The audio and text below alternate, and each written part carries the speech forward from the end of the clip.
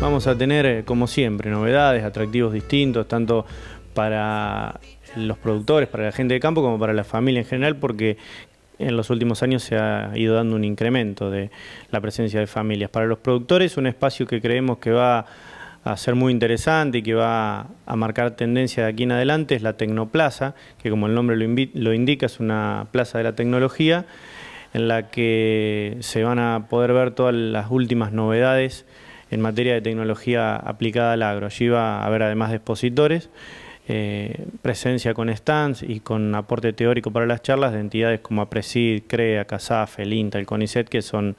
eh, instituciones que son reconocidas y que trabajan mucho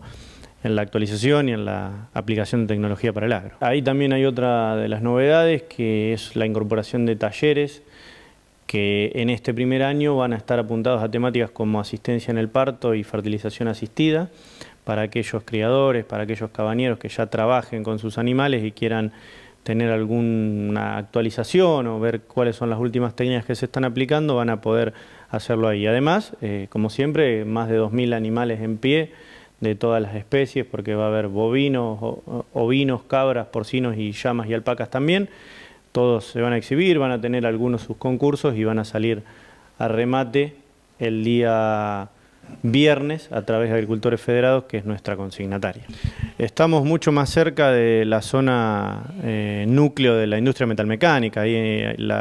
las localidades de Amstro, Las Parejas, Las Rosas, Marcos Juárez, que están muy cerca del campo,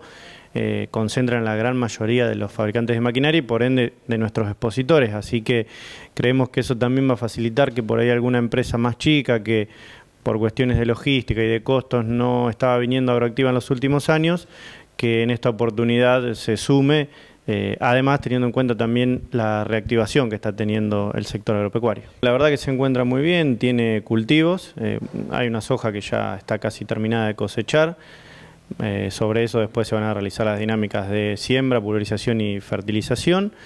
Un maíz eh, de primera que también ya está próximo a cosechar, un maíz tardío que se va a dejar para el mes de junio, eh, para las demostraciones de cosecha, luego se hará también un, verdeo, pero el campo está en muy buenas condiciones y tiene la particularidad de este año que tenía dos accesos ya con caminos reales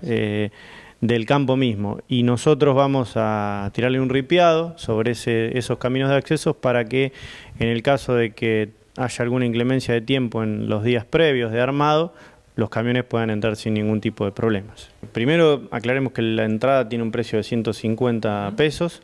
que de todas maneras el 90% del público que va a Agroactiva no la abona, ya todos lo saben. Eh, les voy a dejar a todos ustedes para que le regalen a sus televidentes, a sus amigos, eh, productores. También pueden ingresar a nuestra página web, a nuestro Facebook, nuestro Twitter, pedirnos las entradas gratis que quieran y se las mandamos por mail, la pueden imprimir las veces que quieran para poder entrar. Y en los negocios de las distintas localidades de la zona, no aquí en Capital, pero sí en todas las localidades de la región, en negocios relacionados al agro, también va a haber entradas gratuitas para que los eh, productores vayan a buscar y se puedan llevar eh, la entrada con la cual ingresar a Agroactiva sin cargo pero siempre con la entrada, ya sea la gratuita o la que la gente abona eh, en boletería, le dan un cupón y participa del sorteo anual que hacemos en la misma muestra. Recordemos la fecha y horarios. Del 31 de mayo al 3 de junio en Armstrong, en la provincia de Santa Fe, vigésimo tercera edición de Agroactiva, todos los días 8 y media de la mañana se abren las puertas.